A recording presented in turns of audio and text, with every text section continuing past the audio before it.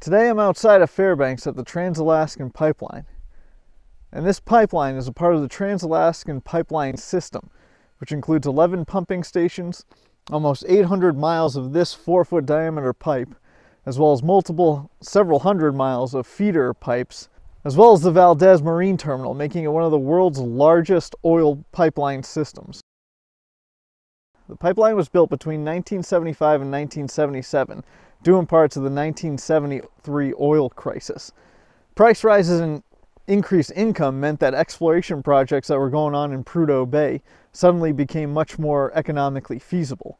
And because of those price increases, legislation also led to it being much easier for drillers to begin drilling anywhere they really needed to in order to start extracting the oil. Oil was known to be in the area of northern Alaska for thousands of years. Indigenous populations were using oil soaked peat as a source of both heat and light. And all throughout the early part of the 20th century, there was known to be oil in the area, although drilling and exploring for oil in the northern part of Alaska in the early part of the 20th century had never really been worthwhile. Throughout the 50s and 60s, though, Richfield Oil Company, which eventually became ARCO, had begun drilling and was successful finding what was 25 billion barrels of oil underneath Prudhoe Bay, which was the largest in North America. The problem was how do you get that oil to market? And is it worth drilling to do so?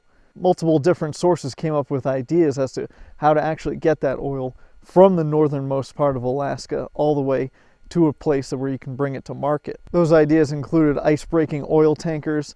A proposal by General Dynamics actually suggested tanking submarines to go underneath the Arctic ice, and Boeing came up with the RC-1, which was a 12 engine jet that would be used to fill up tanks the size of a 747 on each wing and fly it back from the northern part of Alaska.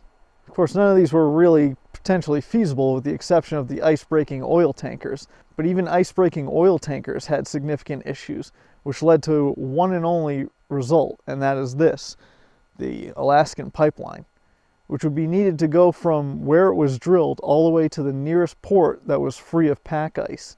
And that was in the southern part of the state at Valdez, over 640 miles away. Now, construction began in 1974 with tens of thousands of people working on the pipeline system, enduring long hours and brutal conditions through some of the most harsh terrain that someone can really build anything. The amount of money and the population increases led to booms in towns like Fairbanks. That, of course, brought an influx of crime and seedy behavior.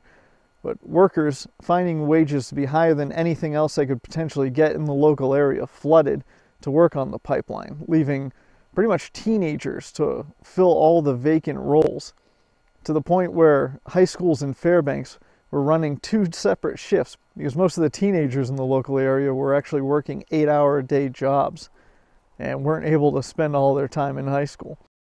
The pipe itself rests on its supports. There's no welding or bolts fixing it in place.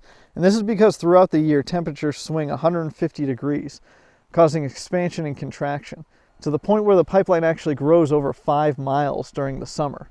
And the pipeline itself is 11 miles longer than it needs to be to account for all this expansion and contraction. Additionally, it's built to withstand forest fires, natural disasters, and parts of it are actually on slides in order to deal with the fact that it crosses the Denali Fault, which allows it to adjust 20 feet horizontally as well as 5 feet vertically, which was put to the test during an earthquake several years ago. Now, of course, threading a 4 foot wide pipe 800 miles across the state to include indigenous populations' lands filled with fossil fuel, it's bound to cause some controversy. And since its inception, the pipeline has been the focus of environmental, legal, as well as political debate. Most recently, due to the fact that the potential for drilling in the ANWR, or the Alaskan National Wildlife Refuge, would eventually lead to the pipeline system here and down into Valdez. And although incidents are rare, there has been history of leaks, explosions, as well as drunken gunmen shooting holes in the side, resulting in oil pollution and, in rare cases, injuries. Although, due to the size of this system, it's exceptionally rare that anything catastrophic happens. Now, as uh, renewable energy use increases and decline in production could result in serious problems for the pipeline, especially due to the fact that The state of Alaska is required by law to remove all traces of the pipeline after oil extraction is complete, whenever that may be. Until then, though, the oil's going to keep on flowing. If you enjoy the content, subscribe. As always, until next time, get lost.